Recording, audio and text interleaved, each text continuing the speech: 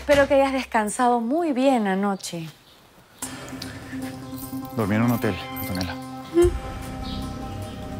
Después de ese mensaje insultante que me mandaste anoche, preferí quedarme allá porque si no nos íbamos a sacar los ojos.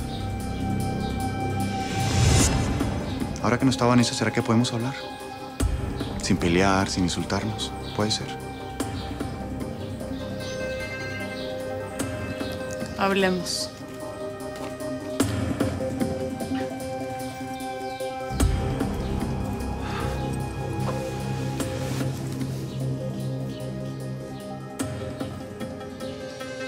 Te he engañado.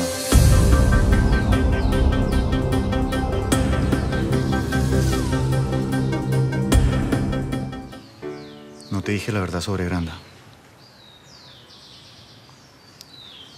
Por ética profesional no debía haber abandonado a mi cliente, y mucho menos de manera sorpresiva.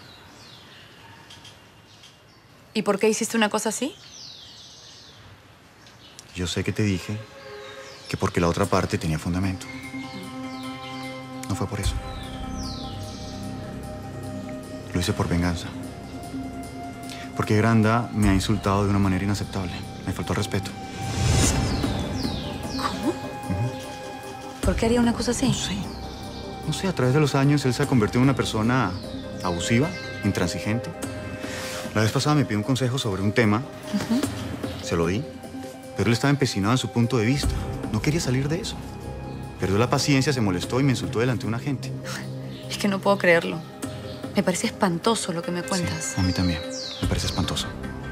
Igual eso no justifica mi comportamiento, porque por rabia comprometí mi reputación y la confianza que siempre has tenido en mí, Anto. En este momento voy a llamar a Granda. ¿Quién se ha creído ese viejo para maltratarte No, de esa no, manera? Anto, Anto, mi amor. No, no, es que encima nos metió un montón de problemas. no quiero más problemas. Por favor. No vale la pena, ¿sí? Sí. Mírame. ¿Me?